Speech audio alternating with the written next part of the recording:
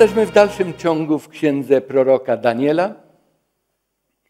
I y, dzisiaj, wracając do czwartego rozdziału, y, będziemy troszeczkę ocierali się o apologetykę.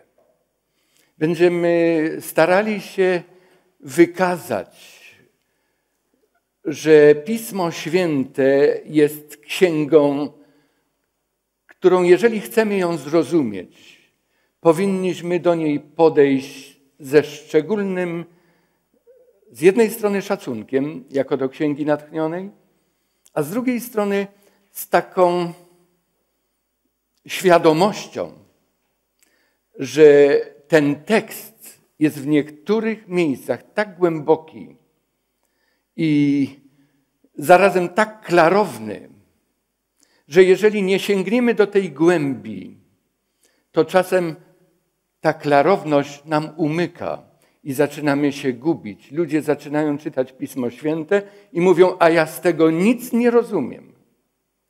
E, temu zagadnieniu poświęciliśmy już sporo czasu, przystępując do tej serii wykładów. Dwa wykłady pierwsze, one nas na to przygotowały. Dzisiaj poznamy znaczenie i wagę praktycznego zastosowania się do zasad, jakie rządzą studium Słowa Bożego. To ma bardzo duże znaczenie przy czytaniu Pisma Świętego, przy właściwym rozumieniu proroctw biblijnych.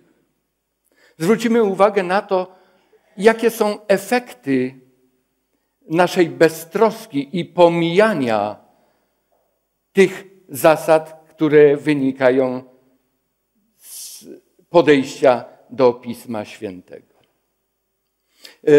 E, zatytułowaliśmy nasze spotkanie Czas przywrócenia Królestwa Bożego. Dlatego, że wielu ludzi, którzy na przełomie XVIII i XIX stulecia studiowali Pismo Święte, to było duże ożywienie religijne. To się nałożyło później na początku XIX wieku z wiosną ludów, tymi przeobrażeniami w całym w całej Europie i w przemyśle, i w handlu, i w, y, y, na płaszczyźnie społecznej i ekonomicznej. I y, ludzie zaczęli zastanawiać się. Pamiętacie, gdy mieliśmy u nas w kraju ogłoszony stan wojenny? Ludzie, którzy nigdy się nie interesowali sprawami religijnymi, tłoczyli się w kościołach. Ludzie pytali o Pismo Święte. Pytali tych, którzy czytają Pismo Święte, a co tam wyczytaliście? Czego możemy oczekiwać? Co się teraz stanie? Podobnie było w XIX wieku na początku, ale to się już zaczęło w XVIII stuleciu.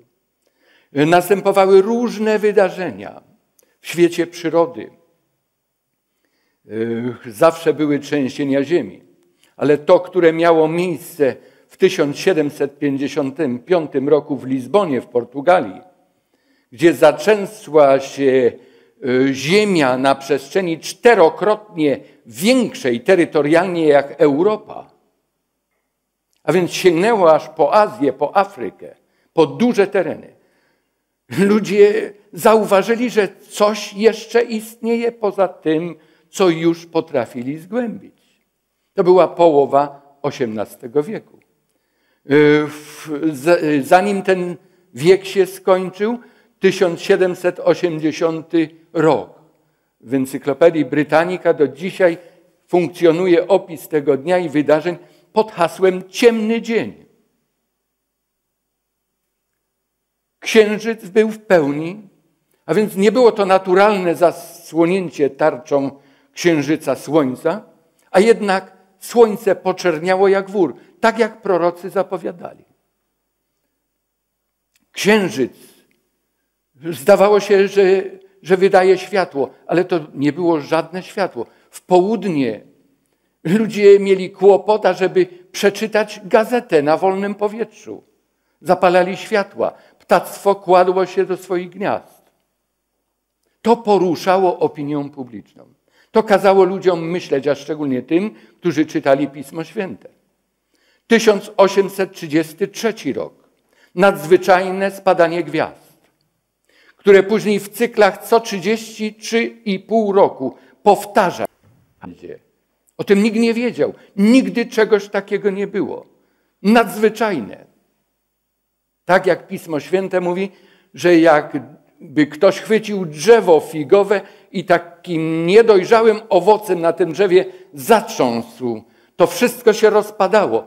Naoczni świadkowie opisujący to nadzwyczajne spadanie gwiazd 1833 roku mówią, rzeczywiście wyglądało jak gdyby z jednego miejsca, jak gdyby z jednej takiej tchawicy. One rozsypywały się na całe olbrzymie połacie nieba nad Stanami Zjednoczonymi, gdzie ludzie byli bardzo zainteresowani Pismem Świętym.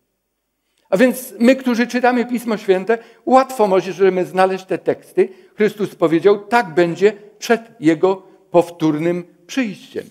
Ludzie zaczęli się tym interesować, zaczęli się interesować zapowiedziami y, powtórnego przyjścia Chrystusa w Ewangeliach Mateusza. Przed chwilą teksty były czytane. To tylko niektóre teksty. Wiosna ludów, lata 40. XIX stulecia, kolejny wstrząs, niezadowolenie narodów. To wszystko mówiło wyraźnie, że coś się dziwnego dziać będzie. 1798 rok. Wstrząśnięcie potężne, największym autorytetem w Europie. Papież zostaje uprowadzony do niewoli, gdzie po dwóch latach umiera. Legiony Kniaziewicza i Dąbrowskiego, polskie legiony, brały w tym udział. Współpracowały z generałem Berthier, który zna, z rozkazu Napoleona dokonał właśnie tego areszt, wykonał to aresztowanie, wykonał ten wyrok. Wyobraźmy sobie, że wtedy żyjemy. Każdy wiedział, że coś musi się stać. Wtedy ludzie zaczęli sięgać do Pisma Świętego i zaczęli rozumieć wiele, wiele rzeczy. Był taki farmer amerykański, William Miller. On zaczął się interesować proroctwami, szczególnie proroctwami Daniela. To on wyliczył, że w roku 1843 na wiosnę przyjdzie Jezus Chrystus. Później na krótko przed tym wydarzeniem zweryfikował tę datę, powiedział, nie uwzględnił, bo bazował na kalendarzu y, częściowo juliańskim, częstowo gregoriańskim, nie uwzględnił kalendarza żydowskiego. A przecież Jom Kippur ma związek nie z tymi naszymi kalendarzami, tylko z tamtym. Zrobił poprawkę i powiedział 22 października 1844 roku Chrystus powrócił. W samych Stanach Zjednoczonych ponad 50 tysięcy ludzi zainteresowało się i to nagle, jak grzyby po deszczu wyrastali zwolennicy tego poglądu. Później ten pogląd spotkał się z rozgoryczeniem, z rozczarowaniem. Słyszeliśmy te słowa, gdzie Chrystus powiedział: Dnia i godziny nikt nie wie. Skąd Miller miał wiedzieć? Pominął pewne zasady studiowania Pisma Świętego. Ci, którzy rozgoryczyli się w październiku 1844 roku, podzielili się na cały szereg różnych grup. Niektórzy mówią, że to adwentyści dnia siódmego wyznaczali datę powtórnego przyjścia Chrystusa. To nie jest tak. To też jest niedoinformowanie i niedokładne prześledzenie rzeczywistości. Miller nigdy ani przed rozczarowaniem, ani po rozczarowaniu nie był adwentystą dnia siódmego. Był adwentystą w sensie pojęciowym, bo adwent oznacza oczekiwanie. Oczekiwanie na powtórne przyjście. On oczekiwał, ale on nie należał do kościoła adwentystów dnia siódmego, który dopiero po rozczarowaniu z garstki ludzi zaczął wyrastać, kształtować się. E, ci, którzy się rozgoryczyli już w 1943 roku, duża grupa zrezygnowała z poglądów Millera i z oczekiwania z czegokolwiek, ale później w 1944 roku podzielili się na szereg małych grup. Najliczniejsza była ta, która rozstała się z Biblią na zawsze i na dobre. Byli tacy, którzy powiedzieli, musimy lepiej czytać Biblię, żeby ustanowić nową datę. Byli tacy, którzy powiedzieli, to jest bardzo ważne, by być gotowym na powtórne przyjście Chrystusa, ale my musimy trwać jako chrześcijanie w oparciu o te zasady, które znamy do tej pory. Powstali, ta, powstała taka grupa adwentystów dnia pierwszego, którzy trwali mocno na stanowisku, że niedziela jest dniem świętym. Jeszcze nie było adwentystów dnia siódmego. Dopiero później się pojawili, bo ci ludzie, którzy stali się po prostu pionierami tego ruchu, nie upatrywali wad ani w Piśmie Świętym, ani u Boga, tylko wiedzieli, to nasza wina. Coś przeoczyliśmy, czegoś nie zrozumieliśmy. Boże, pomóż nam. Boże, przecież miłujemy Ciebie, my chcemy do Ciebie należeć. Prowadź nas. I Bóg ich uczył czytania i rozumienia Pisma Świętego. To trwało dziesiątki lat. Ten ruch nie powstał od jak na pstyknięcie palca. Ten ruch się kształtował. To jak, jak latorośl wyrastało i nabierało kształtów. E, zrozumiano kwestię Kościoła, że zresztą to reformatorzy wcześniej istniejący rozumieli, że Kościół to nie budynek, Kościół to nie instytucja, Kościół to wierzący. To ci, którzy stanowią oblubienicę Jezusa Chrystusa. Zrozumieli kwestię woli Bożej, przykazań Bożych, dekalogu, a później soboty, a później tego, czego od nas wierzących oczekuje Bóg, dając nam drugie przykazanie, aby nie oddawać Ci obrazom i posągom. To była jedna z głównych motywacji tych trzech młodzieńców, którzy nie oddali pokłonu posągowi na Dolinie Dura, o czym mówiliśmy wcześniej. Później zrozumieli, że ciało człowieka jest też świątynią Ducha Bożego i nie wolno nam niszczyć tego ciała przez niestosowanie Bożych zasad dotyczących odżywiania. Następnie zrozumieli kwestię kapłaństwa, ofiary, świątyni, zasadę zbawienia przez wiarę. O tym już Luter pisał w XVI stuleciu, ale to leżało gdzieś odłogiem. I im więcej badali Pismo Święte i badali je w sposób należyty, tym lepiej je rozumieli. Właśnie, bo przy studiowaniu Pisma Świętego uwzględnienie podstawowych zasad badania jego treści jest bardzo ważne. Nie tylko w biblistyce, nie tylko w teologii. Popatrzmy, że takie zasady istnieją w każdej dziedzinie naszego życia. Yy, wspomnę na przykład arytmetykę, matematykę. Jeżeli ktoś zna działania takie, i to są pierwsze działania, których się uczymy: dodawanie, odejmowanie, mnożenie i dzielenie. Jeżeli poznasz te cztery zasady, to nie myśl, że potrafisz się nimi posługiwać. Potrafisz się nimi posługiwać w obrębie tylko jednego, maksymalnie dwóch działań. Ale jeżeli masz dodawanie, odejmowanie, mnożenie i dzielenie, wszystko w jednym poleceniu i zadaniu, to musisz znać zasadę stosowania kolejności działań matematycznych. Ktoś nam przypomni, jaka jest kolejność? Czyli dodawanie, odejmowanie, mnożenie, dzielenie, tak? Właśnie, że nie. Właśnie, nie.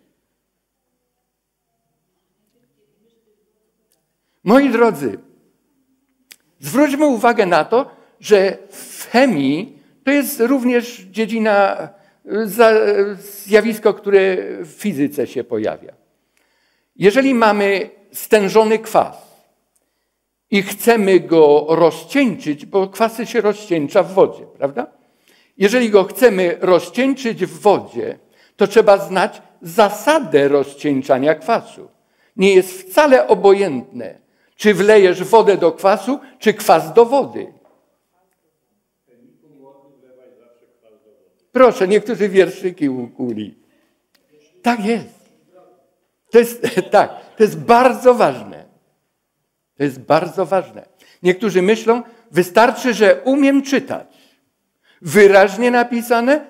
Wyraźnie napisane. No to czego chcesz? Nie wystarczy, żeby ze zrozumieniem czytać Pismo Święte. Popatrzmy. Niektórzy właśnie wtedy doszli do wniosku, ci, którzy brali nawet udział w tym ruchu millerowskim na początku, ale później nie zgadzali się z niczym. I nawet z tym, co ci pionierzy między sobą uzgodnili, poszli na kolana, wzięli Biblię i powiedzieli: Boże, to jest Twoje słowo, nam jest potrzebne autorskie spotkanie, a Ty jesteś autorem. Potrzebujemy prowadzenia tym samym Duchem Świętym, którym prowadzeni byli natchnieni pisarze tego słowa. Niektórzy, którzy powiedzieli, to nie jest takie skomplikowane, bo Pan Jezus dziękował Ojcu, że te rzeczy przed uczonymi zakrył, a maluczkim objawił. Właśnie nie trzeba się uczyć. Wtedy dopiero zrozumiesz wolę Bożą. Jeżeli ktoś tak zrozumiał słowa Jezusa Chrystusa, wielu ludzi opacznie rozumiało Jezusa Chrystusa. Chrystus zwracał uwagę, że wcale nie trzeba kończyć takich szkół, ale nie znaczy, że nie trzeba mieć tej wiedzy, bo on miał taką wiedzę, chociaż do szkół nie chodził. Trzeba mieć kontakt z Bogiem, tam jest źródło wiedzy. Jeden z proroków, Ozeasz w Starym Testamencie mówi, zwracając się do ludu izraelskiego, lud mój zostanie wygubiony z powodu braku umiejętności, ponieważ odrzuciłeś umiejętność, ja ciebie odrzucę. Nasza służba Bogu, o tym wczoraj wieczorem mówiliśmy, ma być rozumną służbą Bogu. Słowo Boże możemy czytać nie tak, jak jest napisane, a tym bardziej wykładać jest jeszcze łatwiej opacznie, niż przyłożyć się, aby wyłożyć to właściwie. Wtedy to XIX-wieczne przebudzenie religijne zainteresowało wielu ludzi proroctwami dotyczącymi czasu i końca czasu, bo jest różnica między czasem końca i końcem czasu. Myśmy do tego jeszcze nie doszli, ale w księdze Daniela jest to wyraźnie wypunktowane. Co innego jest czas końca, a co innego jest koniec czasu. Takie proste zdawać by się mogło, ale jeżeli nawet to pomylisz, to giniesz w zrozumieniu. Doszło do rozczarowania, jak mówiliśmy, ale później usilnego poszukiwania biblijnych tekstów i niektórzy chcieli nadal stać na stanowisku i stali na stanowisku, że można wiedzieć, kiedy Chrystus przyjdzie. Tylko trzeba szukać dalej. Y, łączono, i to jest poprawna, poprawne założenie, łączono podobnie brzmiące myśli, ale gorzej, gdy te myśli są wyrwane z kontekstu. Bo wtedy zatracamy całkowite znaczenie. To tak jak gdybyś do kogoś napisał list, a ten ktoś powyrywał pewne zdania, poprzestawiał je i później powiedział: Popatrz, jaki ty list mi napisałeś? On mówi, nie, ja ci takiego listu nie napisałem. Pokaż mi. Aha, bo ty poprzestawiałeś pewne rzeczy. No to wtedy to brzmienie może tak wyglądać. Może być tak słyszane.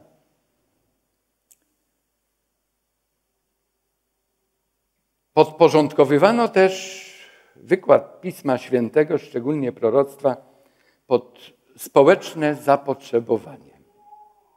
Skoro ludzie tak dużo mówili, patrząc na te zjawiska w przyrodzie, że Chrystus już przychodzi, no to my wszystko musimy, co w Biblii znajdziemy, podporządkować temu przyjściu. Piękna nauka o przyjściu Chrystusa, pięknie wyłuszczona na kartach Pisma Świętego, ale gdy wszystko inne wrzucimy również do tego kosza, to to nam się wszystko pomiesza. Dużo stracimy, nic nie zyskamy. Dlatego apostoł Paweł radził całemu zborowi w Tesalonice: Nie lekceważcie proroctw. Wszystkiego doświadczajcie, a trzymajcie się tego, co jest dobre. A w drugim liście do Tymoteusza, do swojego współpracownika, który nie tylko miał rozumieć, ale później ludzie liczyli na to, że on im pomoże w zrozumieniu, powiedział: Usilnie staraj się o to, abyś mógł stanąć przed Bogiem jako wypróbowany i nienaganny pracownik, który wykłada należycie słowo prawdy. Jeżeli słowo prawdy można należycie wykładać i należy, to czy można je wykładać też nienależycie? Niewłaściwie? Oczywiście, że tak. Istnieją dwa przeciwstawne sobie sposoby poznawania prawdy w każdej dziedzinie. Nie tylko w religii, nie tylko w Biblii, nie tylko w teologii. Albo stawiasz tezę, założenie, twierdzenie jakieś, że to jest tak, a później szukasz dowodów poparcia tego. Nie zapomnę, gdy pracowałem tutaj w seminarium i y, studenci ze starszych roczników y, zawsze z seminarium usługują grupom i zborom okolicznym a nieraz i dalej w kraju. I kiedyś przyszedł do mnie jeden z młodzieńców, który w sobotę miał gdzieś tam usługiwanie i mówi: Szukam tekstu biblijnego. Ja mówię: No to powiedz mi jakiego, to będziemy szukać razem. Właśnie, właśnie nie kojarzę, ale i powiedział mi pewne brzmienie, pewne słowa, które tam były, skojarzyłem, że to są słowa wyjęte z dwóch różnych tekstów. I on mówi, ale jest taki tekst. Ja mówię, słuchaj, ja wiem, że dwa takie teksty są, ale nie jeden. I te dwa teksty, każdy znaczy coś innego. A ty mi cytujesz te połówki, czy te ćwiartki z tych tekstów, które akurat do siebie pasują i chcesz napisać nowy tekst. Mówię, skąd to wziąłeś? On mówi, słuchałem świetnego kaznodziei z Australii. To mogło być z Polski, to mogło być z Rosji, to mogło być z Hiszpanii, z Ameryki, obojętne. Który posłużył się tym tekstem i miał piękne kazanie na bazie tego tekstu. Ja mówię, strzeż się takiego kazania. O czym chcesz mówić? Powiedział mi, o czym chcę mówić. I mówi, właśnie ten tekst mi pasuje, żeby to wesprzeć. Ja mówię, nie. Najpierw czytaj i badaj Biblię i to coś znalazł. Proś Boga, żebyś umiał w sposób przystępny przekazać słuchaczowi. To jest ten drugi sposób, to jest ten właściwy sposób. My czy, czytamy Biblię nie, aby zdobyć argumentację do naszych pomysłów i poglądów, tylko nasze poglądy podporządkowujemy temu, co jest napisane w Piśmie Świętym. To jest podstawowa zasada studiowania Pisma Świętego. Nie wymyślanie jakiejś idei, jakiejś tezy, stawianie i szukanie wtedy dowodów, tylko czytanie i badanie Biblii tak, jak została napisana, aby ją poznać. I gdy ją poznasz, to wiesz, o czym ona pisze. I wtedy o tym mów, co w Biblii znalazłeś. Apostoł Piotr napisał przede wszystkim to wiedzcie, że wszelkie proroctwo pisma nie podlega dowolnemu wy, wykładowi, albowiem proroctwo nigdy nie przychodziło z woli ludzkiej, ale wypowiadali je ludzie Boży natchnieni Duchem Świętym. Właśnie, trzeba to spotkanie autorskie zorganizować. I to jest modlitwa. To jest czytanie Biblii I gdy zatrzymujesz się na jakimś tekście, powiesz, Panie Boże, ale ja tego nie rozumiem. Często się z tym spotykam. Czytam i wydaje mi się, że po tylu latach już powinienem dużo rozumieć, ale im dłużej czytam, tym więcej nie rozumiem. Jest tak, jak gdy lubicie podróżować. Wiem, że niektórzy tam szczyty gór pokonują. Gdy jesteś w dolinie, to niewiele widzisz, ale im wyżej wstępujesz, tym szerszy masz horyzont. Dokładnie jest tak z czytaniem Pisma Świętego. Dokładnie jest tak z każdą dziedziną wiedzy. Nie tylko w zagadnieniach duchowych i religijnych. Im więcej wiesz, tym masz szersze horyzonty, dalej widzisz, potrafisz kojarzyć, masz obraz spójny. I Biblię, gdy ją czytasz, to w pewnym momencie musisz się jak gdyby wznieść ponad to i z lotu ptaka popatrzeć na wszystko, co już poznałeś. Jest dobrze wypisać sobie cały szereg tekstów, położyć je na stół i powiedzieć: Panie Boże, który z którego wynika? Jaki związek między nimi jest? A może nie ma żadnego związku? Naucz mnie, prowadź mnie. I to spotkanie modlitewne z Bogiem dopiero pomaga nam coś z Biblii zrozumieć, aby móc przekazywać. Gdy będziemy mówili o świątyni, a będziemy mówili o świątyni, świątynia w Starym Testamencie uczyła takiego sposobu podejścia do Bożego Słowa.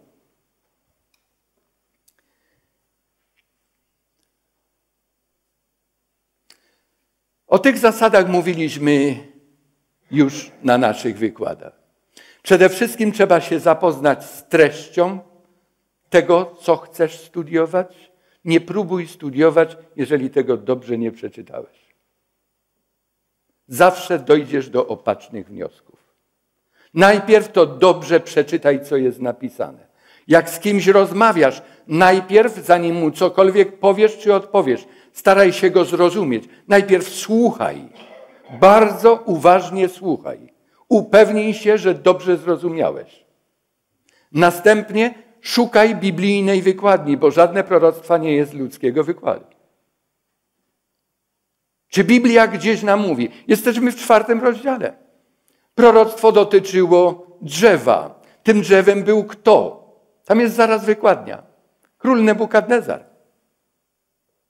Więc nie musimy daleko szukać, ale nie zawsze jest tak prosto i nie zawsze jest tak łatwo. Dalej. Rozpoznanie proroctwa wypełniającego się w historii. Proroctwo mówiło o upokorzeniu, o tej chorobie umysłowej. I znowu w przypadku czwartego rozdziału nie ma problemu. Ta choroba jest opisana bardzo konkretnie, powiedziane, kiedy się wydarzyła. Mowa jest nawet o tej zwłoce dwunastomiesięcznej, a później to dotknęło. Jak długo miała trwać? Siedem czasów. Ten idan. Ale co to jest ten idan? A może to zamknięty cykl dobowy? Bo też może oznaczać. A może zamknięty cykl y, miesiąca księżycowego. Co to jest ten? Siedem lat. I tak się to wypełniło wszystko. Co dalej? Zajęcie osobistego stosunku do treści tego przekazu proroczego. I wczoraj o tym mówiliśmy dosyć dużo, że na przykładzie Nebukadnezara my możemy zobaczyć siebie i zweryfikować nasz stosunek do Boga i zrozumieć, że Jego stosunek do nas jest niezmienny i zawsze życzliwy i zawsze na nas czeka.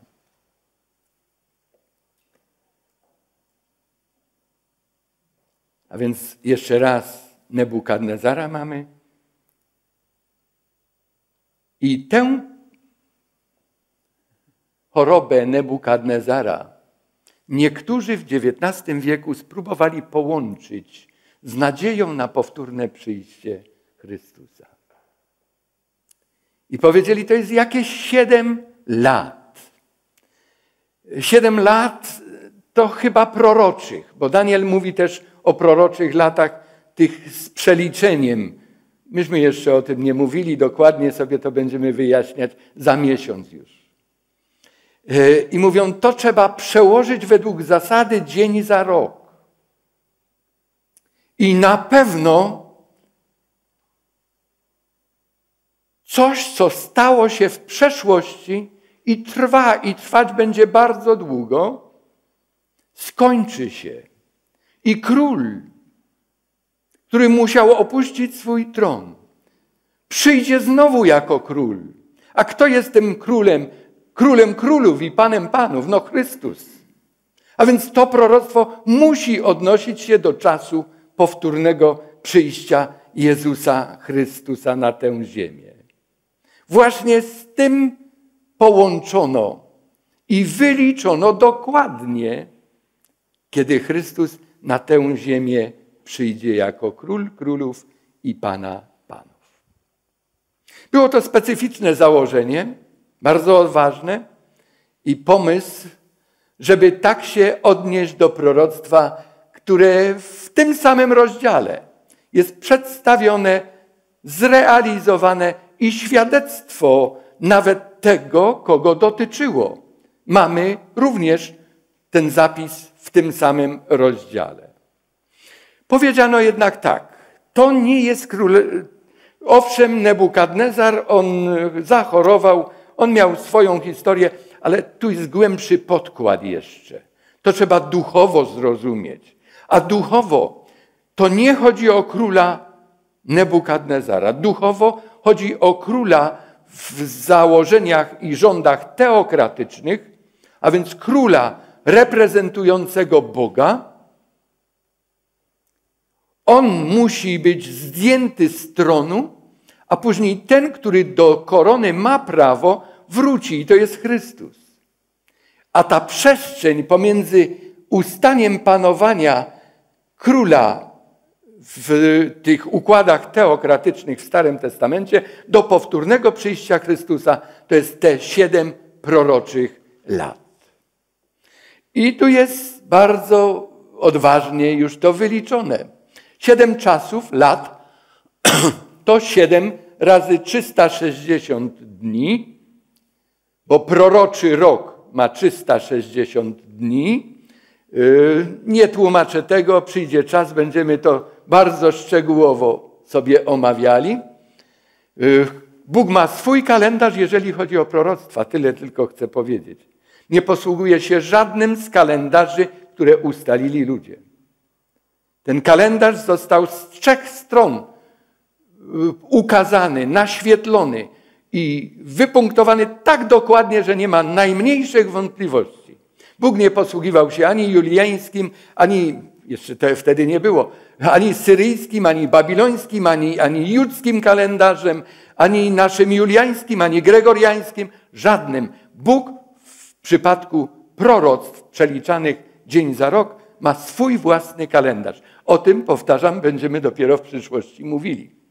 Bo to trzeba udokumentować z Biblii. No nie możemy sobie tak założyć. A więc przyjmuje się ten rok y, za 360 dni 7 razy 360, 2520 dni. Dzień za rok, 2520 lat. A więc od zdjęcia stronu ostatniego panującego w Judzie, bo to była ta linia Dawidowa, to była ta linia wskazująca na Mesjasza. Czyli od zabrania do niewoli Sedekiasza, do powtórnego przyjścia Chrystusa minie 2520 lat. W tym czasie na tronie Judy nie będzie żadnego króla. Okres rozpoczyna się wtedy, gdy Sedekiasz, ostatni król panujący w Judei, został zabrany do Babilonu, rok 606 przed naszą erą. I tutaj już jest bardzo ciekawa rzecz.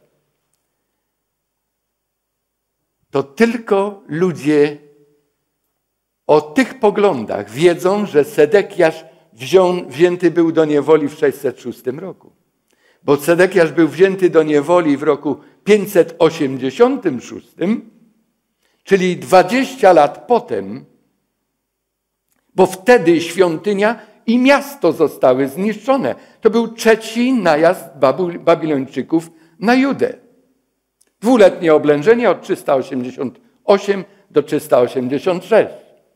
Ale zostawmy to. Na razie mówimy o poglądzie. Zakończenie siedmiu czasów, nawet Chrystus, powiadają, mówił o tym, że Jerozolima będzie deptana przez pogan, aż się wypełnią czasy pogan. Jest taki tekst w liście, w Ewangelii według Łukasza. Tekst mamy tutaj. Tekst jest poprawny, tekst jest właściwy. Po 2520 latach, gdy Jezus Chrystus powróci na tę ziemię, będzie to rok około 1914. Mnóstwo ludzi na tej ziemi, miliony ludzi. Nie tylko to przyjęło, ale lansuje, naucza innych, że to tak jest.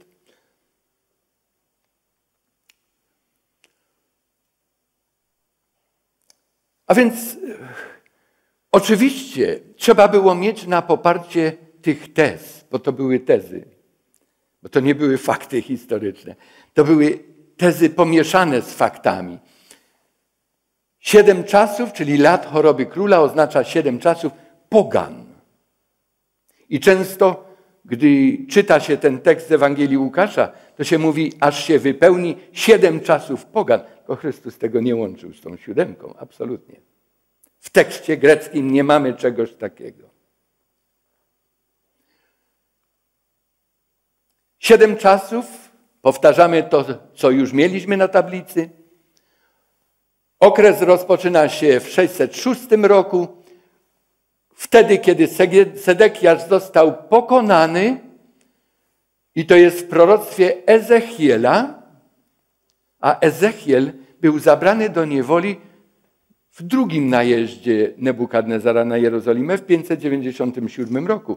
Wtedy w 597 roku Sedekiasz dopiero był osadzony na tronie w Judzie. Wczoraj mówiliśmy, że w czwartym roku swego panowania, a więc w, 4, w 593 roku, służbowo przyjeżdżał do Babilonu z Serejaszem. Pamiętacie jeszcze te trudne, te trudne imiona? I wtedy Chrystus w 14 roku rozpocznie swoje panowanie na ziemi. W tym samym roku, tu się wiąże to z y, Apokalipsą z 12 rozdziale, czyli w 14 roku w niebie rozgarzała walka, w wyniku której szatan został zrzucony na tę ziemię. A więc Chrystus stąpił z nieba na tę ziemię i diabła wyrzucono w tym samym roku na tę ziemię. A że go wyrzucono na tę ziemię, dowodem jest druga wojna światowa. Bo pie, pierwsza wojna światowa. Bo to on rozpo, rozpętał tę wojnę. Niewiasta z objawienia, tam jest podwójny opis w dwunastym rozdziale, podwójne spojrzenie. Raz jest powiedziane, że miała przez czas, czasy i pół czasu była na tej pustyni, a drugi, że przez 42 miesiące. To jest równoznacznik, tyle samo. A więc 3,5 czasu i 3,5 czasu, no to jest 7. Tylko Apokalipsa tego nie sumuje. Apokalipsa mówi o tym jako o jednym i tym samym okresie czasu. Tutaj natomiast doszło do sumowania. Również mamy 2520 lat.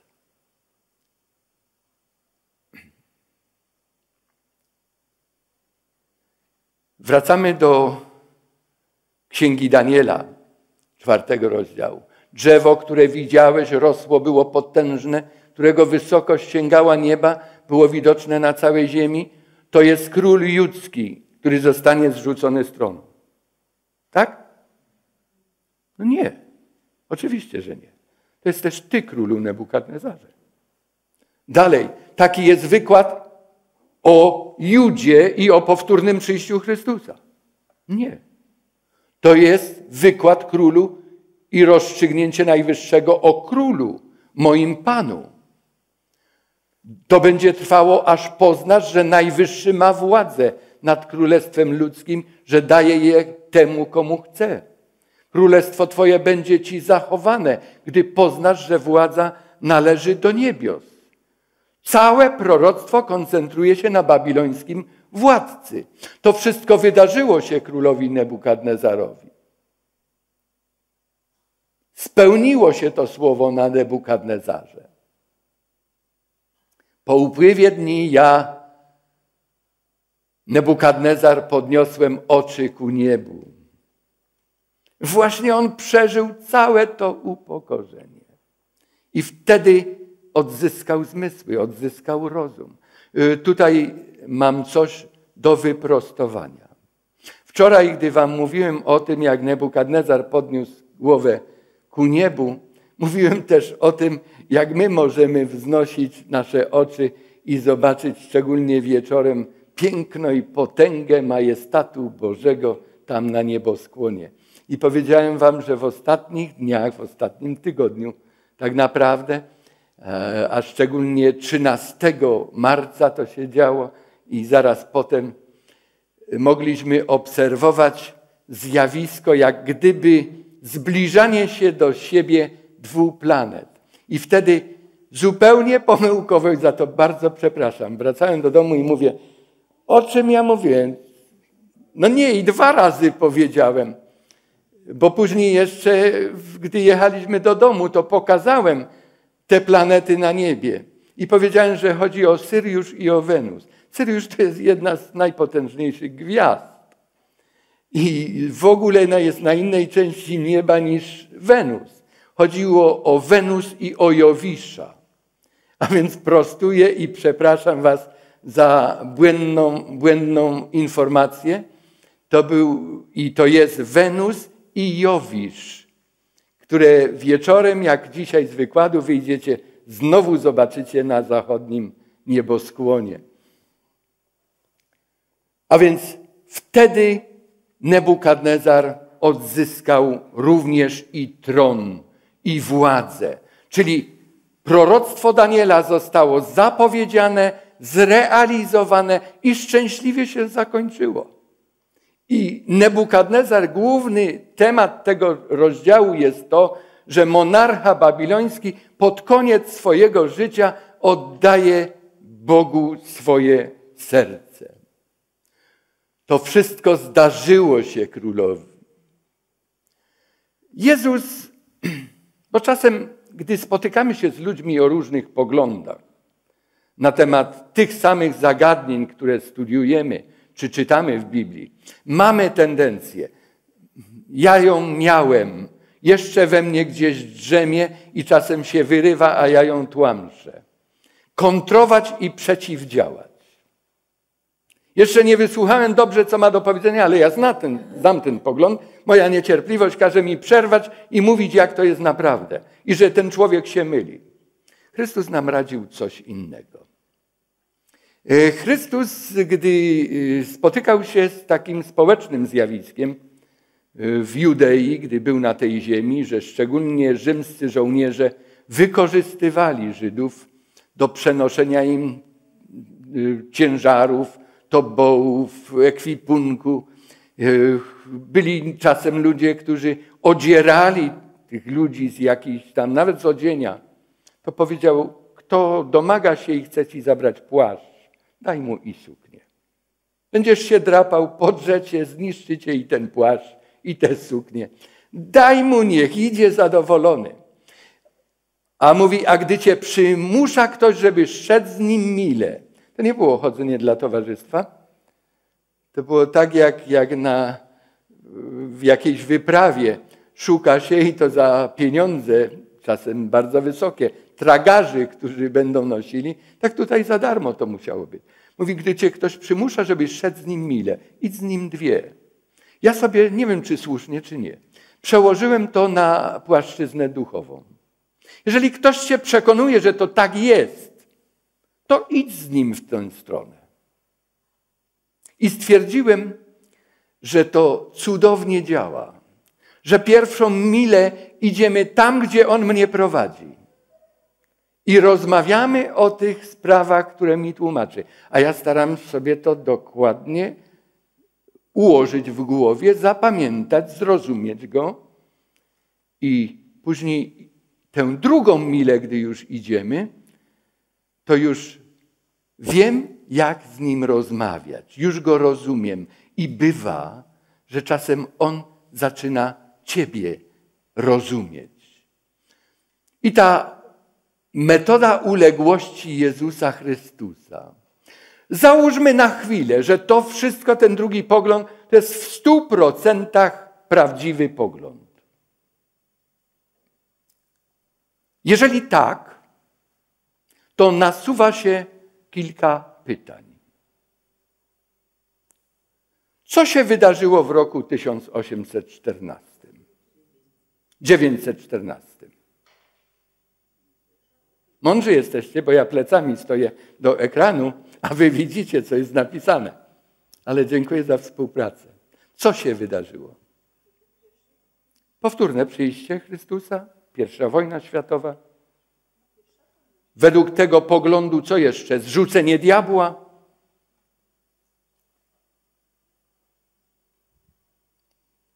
Aha. Po, poukładajmy sobie to wszystko. Bo te wszystkie rzeczy w oderwaniu wyglądają bardzo prawdopodobne. Ale gdy je złożysz razem, to wtedy widzisz, że coś trzeszczy. Gdy Bóg stwarzał na początku naszą ziemię, to po każdym dniu stwarzania takie orzeczenie padało. I widział Bóg, że to, co uczynił, było dobre. I drugi dzień dobre. I piąty dzień dobre. I szósty dzień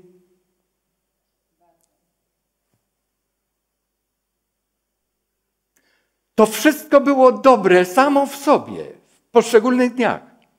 Ale gdy szósty dzień i dzieło stworzenia, działania Bożego zakończone zostało, to Bóg stwierdził, to jest bardzo dobre. Jest tak, jak gdybyś miał części do zegarka. Mamy kogoś, kto się na zegarkach zna. Ten akurat nie ma za wiele części, elektroniczny układ wskazówki. Ale mechaniczny. I masz i takie pokrętło, i taki trybnik, i taką przekładnię, i taka grubość, i, i wahadełko, i ten balans, który tam chodzi, i sprężynę. Wszystko masz. Wszystko jest dobre. Spróbuj to poskładać, czy to będzie bardzo dobre. Bo może każda z tych części jest z innego zegarka. To jest też tekst biblijny, ale on nie pasuje wtedy, gdy chcesz go zastosować w całym układzie. A więc jak to jest? Chrystus przyszedł na tę ziemię. Pytamy i gdzie jest? Duchowo przyszedł. Duchowo. Dobrze.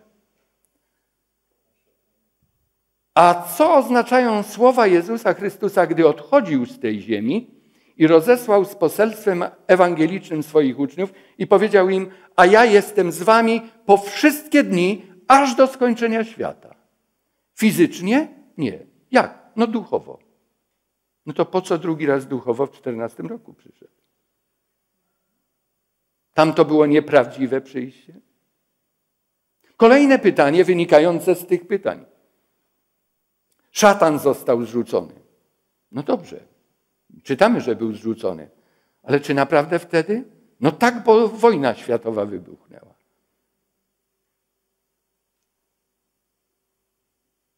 Czy szatan walczy z Bogiem orężem tym i tą bronią, która była w pierwszej wojnie, czy w drugiej, czy w jakiejkolwiek wykorzystywana? Czy to jest walka duchowa? Z drugiej strony, jeżeli Chrystus w tym roku przyszedł duchowo i szatan przyszedł tutaj duchowo, to jak to jest? Oni tak razem są w niebie, a jak na tej ziemi, to też się nie mogą rozstać. Znowu razem. Jeden został zrzucony, a ten drugi co? A może go chwycił i ściągnął? To są pytania, nad którymi wielu ludzi nie myśli. Dalej.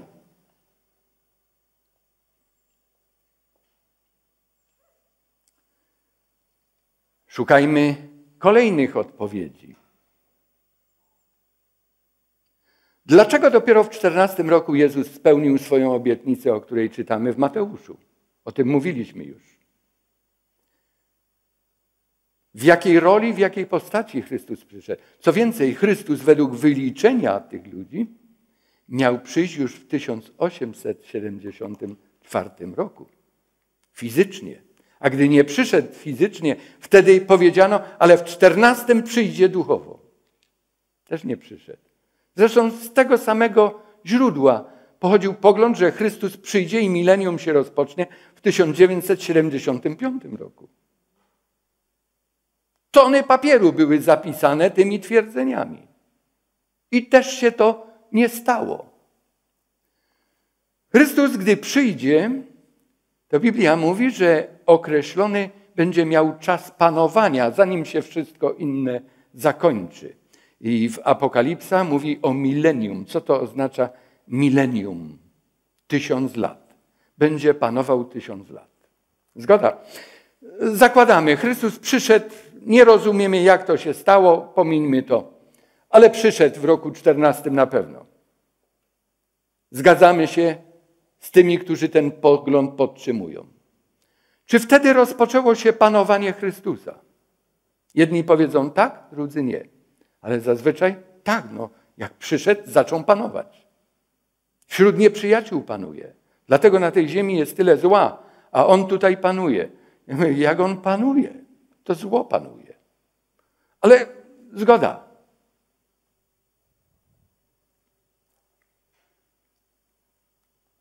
Czy wtedy rozpoczęło się milenium w 1914 roku? Nie. Absolutnie nie. No to panowanie Chrystusa będzie dłuższe jak tysiąc lat. Nie będzie dłuższe, będzie tysiąc lat. A kiedy się rozpoczyna? Gdy przychodzi. A kiedy się kończy? Kiedy Armagedon będzie i wszystko zgładzi. Widzimy, że tutaj są szczeliny. To pęka. A więc te pytania. Gdy Chrystus przyjdzie, o tym pisze apostoł Paweł w liście do Koryntian, w liście do Tesaloniczan, inne teksty Pisma Świętego mamy, że wtedy nastąpi zmartwychwstanie tych, którzy w grobach są i przemienienie tych, którzy żywo doczekali. Kto zmartwychwstał albo został przemieniony w tym czasie, w roku 1787 albo 1914? No było zmartwychwstanie. Byli świadkowie tego zmartwychwstania. Gdzie są? No już poumierali. Czy wszyscy, co byli wierni Chrystusowi, zostali przemienieni i zabrani? Nie. Stado, czutka, 144 tysiące jest nadal na tej ziemi, wielu jeszcze żyje. A kto wie, kto to jest? Oni wiedzą. Co się dzieje, gdy ktoś umiera z tej klasy niebiańskiej? Bo to jest też ten pogląd, który mówi, że tylko wybrani będą zabrani do nieba, a reszta wszystkich innych tutaj y, pozostanie na tej ziemi. Co się dzieje, gdy ten człowiek umiera? Mówiąc, zostaje przemieniony w okamgnieniu na trąbę ostateczną. Ja mówię, a to cudowne. Czyli gdy ktoś umiera, to nie ma pogrzebu. No jak to nie ma pogrzebu? Jak umarł, to należy go pochować. Ja mówię, jeżeli mam zegarek i zamieniłem na pilota, to ja zegarka już nie mam. Mam pilota. Jeżeli ciało to fizyczne, grzeszne zostało przemienione w ciało duchowe, to nie ma kogo do trumny położyć. I tu się rozpoczynają niesamowite próby wytłumaczenia i wyjścia z impasu. Niektórzy mówią, że człowiek taki na trzeci dzień dopiero jest zabrany do nieba. Ja mówię, no to po co go chować? Zaprogramujmy program na czwarty, na piąty dzień. Przecież to się stosuje. Są lodówki, nic nie zagraża. Po co narażać rodzinę na pogrzeb? Mówię, jest jedna możliwość jeszcze, która nam została, że ci ludzie mają duszę nieśmiertelną. I na to nie przystaje nikt, kto stoi za tym poglądem. Absolutnie. Bo wierzą, że dusza nieśmiertelna nie istnieje, człowiek jest śmiertelny zgodnie z tym, czego naucza Pismo Święte. Jakie jeszcze mogą być rozwiązania? Jakie uzasadnienie istnieje dla tych wszystkich wydarzeń? I zostawmy tego człowieka z tymi pytaniami. Nie przekonujmy go, jak to jest. Niech on ma czas nad tym wszystkim pomyśleć, bo nigdy prawdopodobnie o tym nie myślał. Jak to jest jednak naprawdę z powtórnym przyjściem Jezusa Chrystusa? Czy Jezus powróci? Kiedy powróci? Co na ten temat możemy wyczytać na kartach Biblii? Co na temat Pisma Święte, y, na temat powtórnego przyjścia y, napisane jest w Piśmie Świętym? O tym będziemy mówili po krótkiej przerwie. Musimy ochłonąć z tego, cośmy zgodzili się iść dwie mile. Teraz już będzie przyjemniej.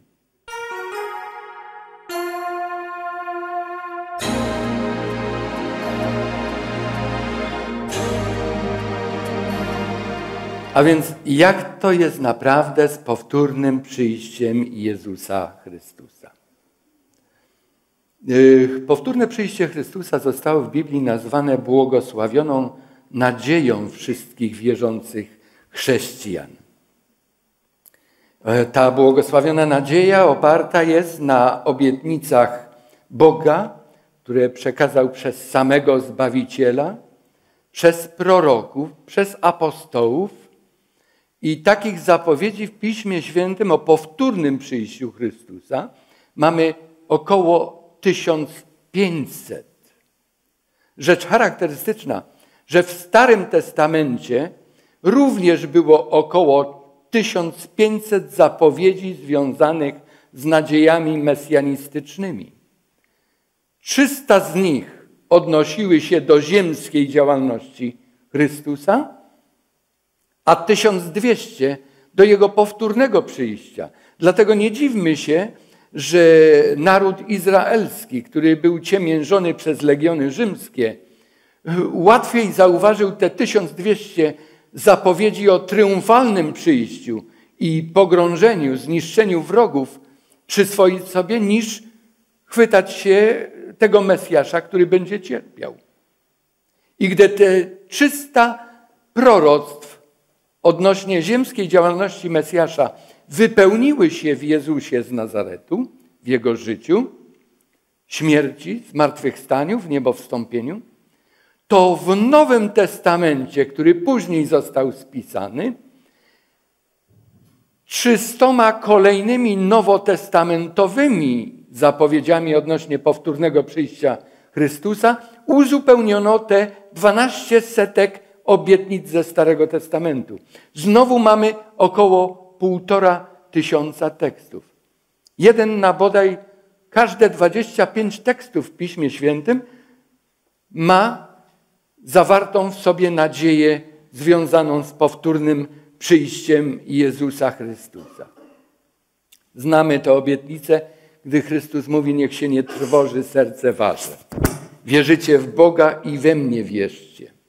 W domu Ojca mego jest wiele mieszkań. Gdyby było inaczej, to bym wam powiedział. Idę przygotować wam miejsce, a gdy przygotuję wam miejsce, to przyjdę znowu, aby was zabrać do siebie tam, gdzie i ja jestem. Aniołowie, gdy Chrystus uniósł się z góry oliwnej i wracał do nieba, wracał do Ojca, skąd przyszedł, od kogo przyszedł, to aniołowie powiedzieli apostołom, ten Jezus, którego widzieliście odchodzącego do nieba, tak przyjdzie, jakeście to obserwowali. Apostoł Piotr mówi nam o tym, że spełnianie proroc Pisma Świętego jest potwierdzeniem tej nadziei na powtórne przyjście Jezusa Chrystusa. Mówi, a myśmy już wam je opisali, bo byliśmy z Nim na tej górze. Mowa jest o górze Tabor, o górze przemienienia, gdzie zobaczyli miniaturkę zjawiska, które będzie globalne, gdy powróci Chrystus. On i tam był przedstawiciel zmarłych, którzy zostali z martwych zbudzeni i zabrani do królestwa. To był Mojżesz i był Eliasz, przedstawiciel tych, którzy żywo doczekają spotkania z Panem.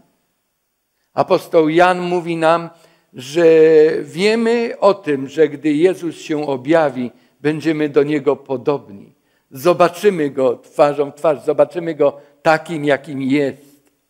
W liście do Filipian apostoł Paweł mówi o tej Rzeczpospolitej naszej, skąd przyjdzie nasz Zbawiciel.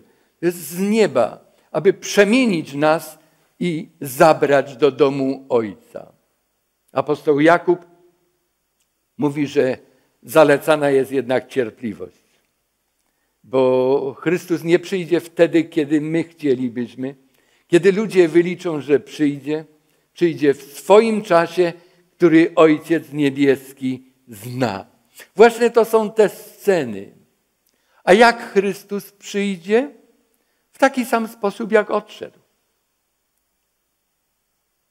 Osobiście, widzialnie. To są teksty z listu do Tesaloniczan, z Ewangelii Mateusza. W Ewangelii Mateusza zwróćmy uwagę i również w Apokalipsie, w pierwszy rozdział, wiersz siódmy.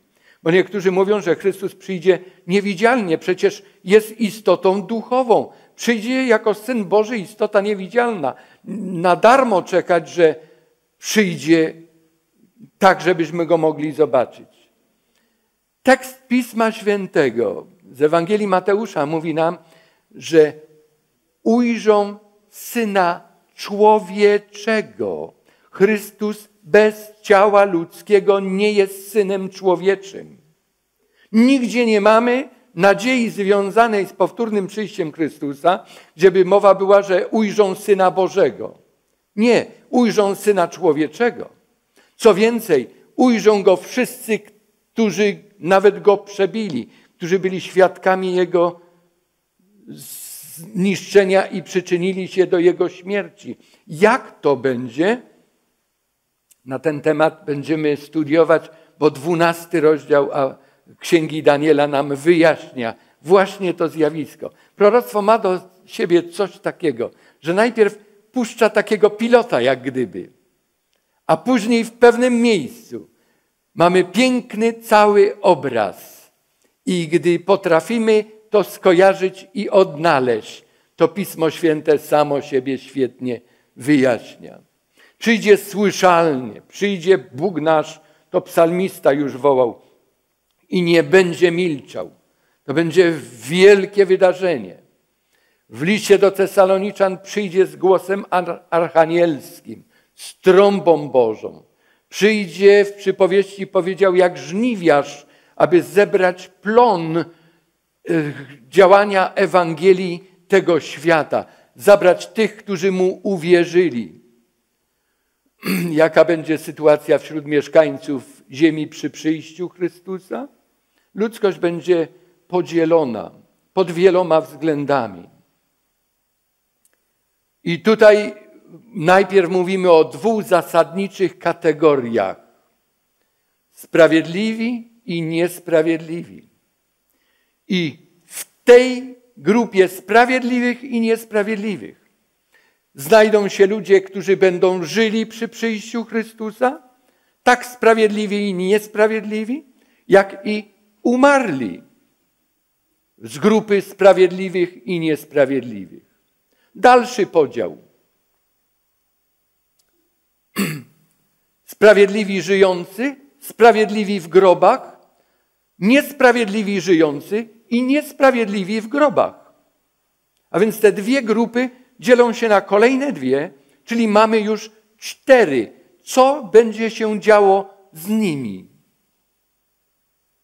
To wam mówimy na podstawie słowa Pana, napisał apostoł Paweł, że my, którzy pozostaniemy przy przyjściu, przy życiu aż do przyjścia Pana, nie wyprzedzimy tych, którzy zasnęli, gdyż sam Pan na dany rozkaz, na głos Archanioła, trąby Bożej stąpi z nieba. Wtedy najpierw powstaną ci, którzy umarli w Chrystusie. A więc ta grupa, która wierzyła w Chrystusa i znalazła się w grobach, nie doczekali żywo przyjścia Chrystusa. Oni powstaną najpierw. Potem my, którzy pozostaniemy przy życiu, razem z nimi będziemy porwani będziemy w obłokach w powietrze na spotkanie z Pana. I tak zawsze będziemy z Panem. Przeto pocieszajcie jedni drugich tymi słowy. Ten obraz staje się bardzo klarowny, gdy znajdujemy te teksty w Piśmie Świętym. A więc kwestia sprawiedliwych żyjących i sprawiedliwych umarłych została tutaj wyjaśniona. Do Królestwa Bożego udamy się razem, gdy będziemy wierni Chrystusowi. Nieważne, czy ktoś żyje, czy ktoś nie doczekał tego przyjścia. Wtedy groby się otworzą, wtedy rodziny się połączą, przyjaciele się połączą. Jakie będą losy ludzi niesprawiedliwych? Ci też będą w dwóch grupach: żyjący i umarli.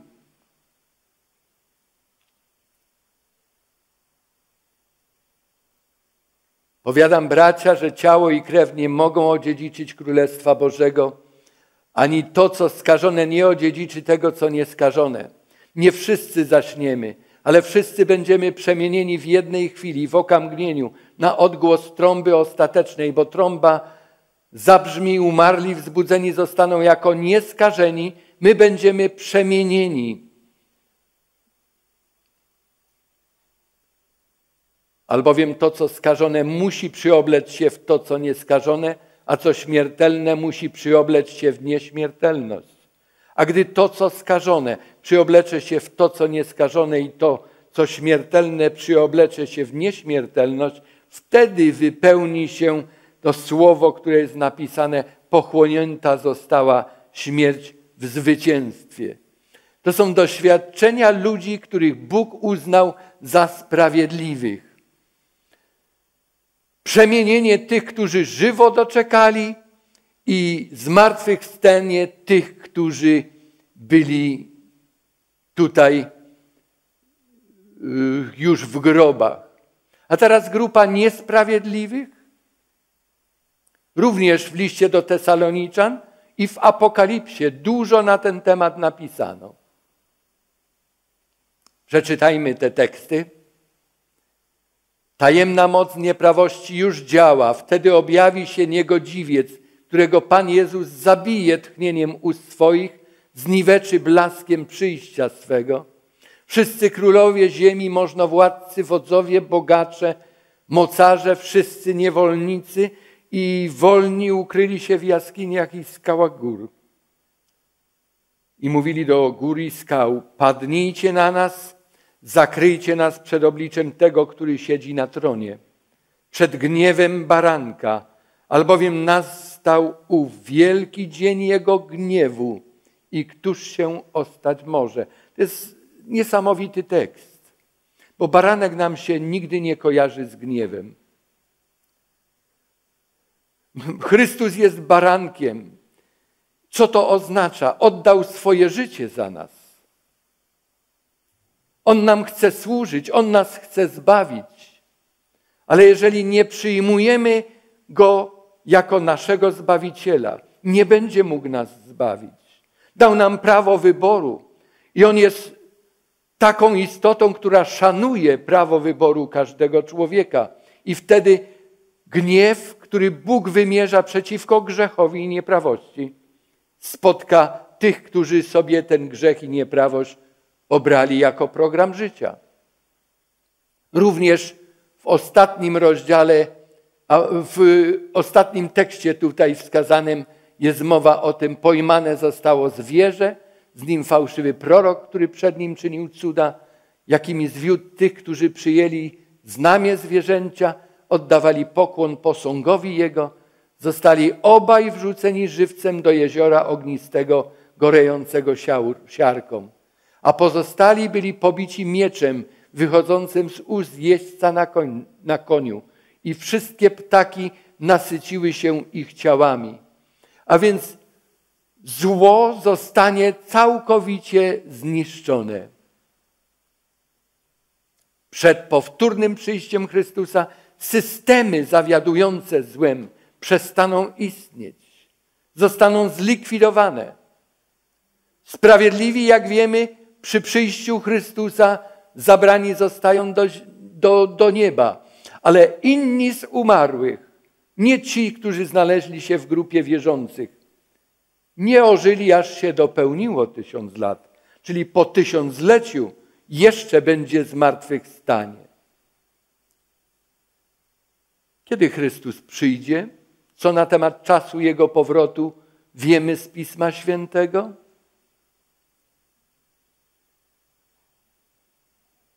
Gdy uczniowie kiedyś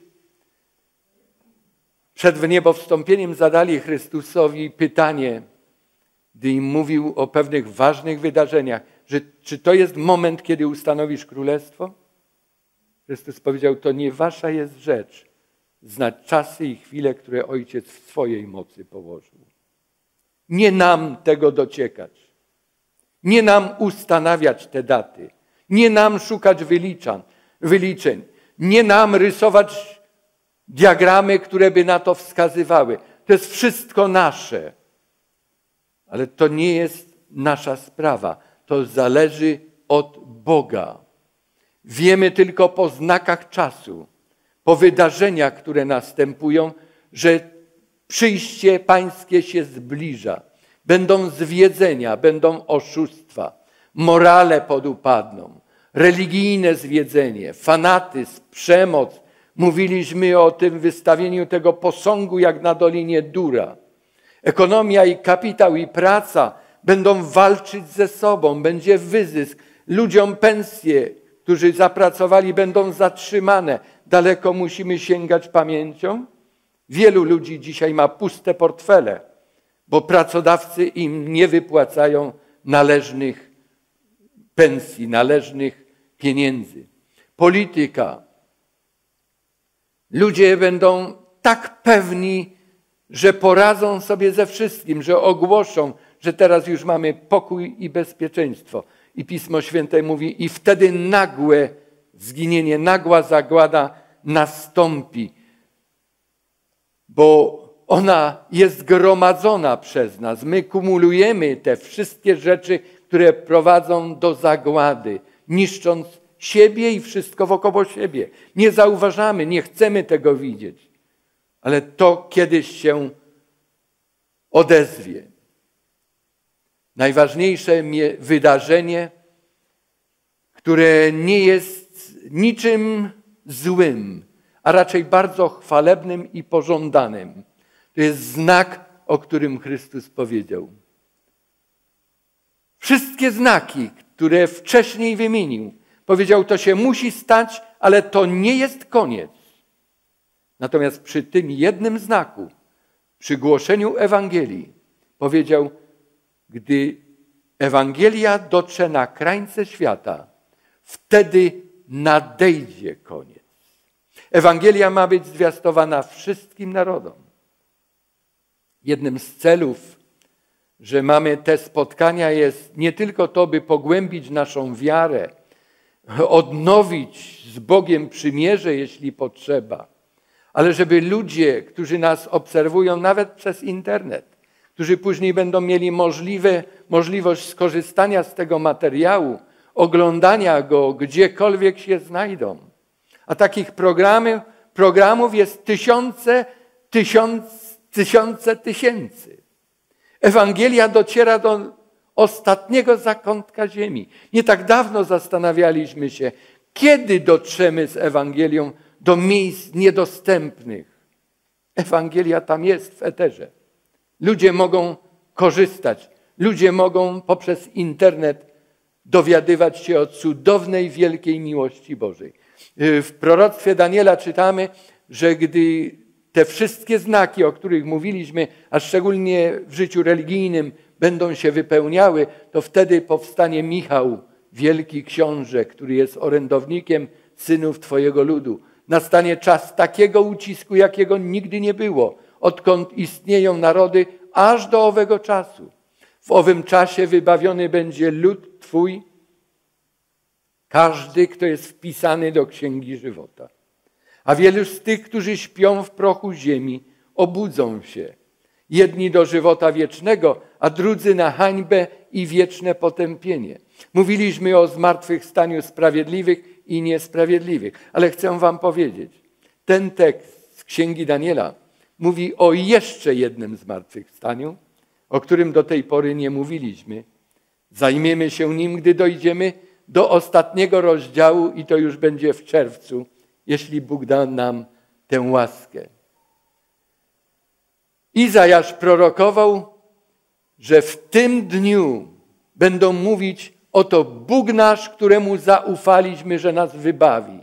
To Pan, któremu zaufaliśmy. Weselmy i radujmy się w zbawieniu Jego. Jak myślicie, która grupa wykrzyknie tym głosem radosnym: Zrealizował wszystkie obietnice, wszystkie nadzieje się spełniły? Ta, która go przyjęła, ta, która go umiłowała. Pozostali będą wołać góry, pagórki. Być może to będzie pierwsza modlitwa w życiu wielu z nich. Wielu z nich, którzy zanegowali istnienie Boga w ogóle. Raczej byli skłonni zaakceptować matkę przyrodę. I teraz wołają do niej, wołają w to, w co wierzyli. Nie możemy znieść tej chwały przyjścia Zbawiciela. Któż się może ostać? Wszyscy mogli się ostać i ci, którzy ten okrzyk będą wznosili w swojej trwodze. Wszyscy, bez wyjątku. Chrystus przyjdzie, On jako Stwórca i Odkupiciel powróci i to, co złe, co nieprawe, co jest przesączone grzechem i krzywdą, zniweluje, usunie i zgotuje zbawionym wieczną ojczyznę. Nam zgotuje tę ojczyznę.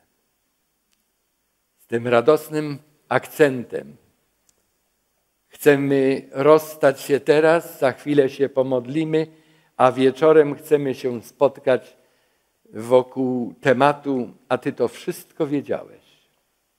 Dzisiaj rozwój wiedzy jest niesamowity. Dzisiaj małe dzieci wiedzą więcej niż starcy. To znaczy, że wiedzę mają szerszą w pewnych dziedzinach. To nie znaczy, że mają mądrość starców. A starcy niekoniecznie mają siwe włosy i ci o siwych włosach niekoniecznie muszą mieć mądrość. Ale drodzy moi, chciałbym spotkać się z Wami znowu wieczorem, abyśmy e, obserwowali Boga w działaniu. Jak Bóg ratował Babilon. Bo po to wysłał tam misjonarzy przecież. I co z tego wyniknęło? Powstaniemy do modlitwy, aby podziękować Bogu za nadzieję spotkania z naszym Zbawicielem. Stwórco i Panie nasz. Tak bardzo dziękujemy za Twoje słowo i za to, że możemy mieć łatwy do niego dostęp. A co więcej, Ty nam objawiasz z Twojego słowa prawdę. Ty nie każesz nam się domyślać, co coś oznacza, co tam jest zapisane. Istnieją jak w każdej dziedzinie życia tak i w czytaniu i studiowaniu Twojego słowa pewne prawidła, pewne zasady, które wynikają z tego, że Ty, potężny Bóg, Stwórca Wszechwiedzący, chcesz nam komunikować to, co jest dla nas zbawienne, to, co może pomóc nam w doczesnym życiu tutaj i teraz?